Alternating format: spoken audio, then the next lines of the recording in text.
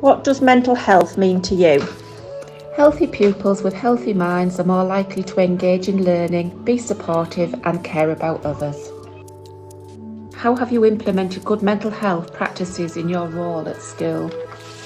We've created a warm and welcoming environment where our children are encouraged to express their thoughts and feelings to trusted adults.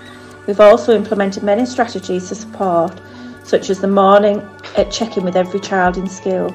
We have safe places in school and around school to support children who need an area to express their thoughts and feelings for self-care. At Handale, we also have a therapy dog that supports children with emotional regulation.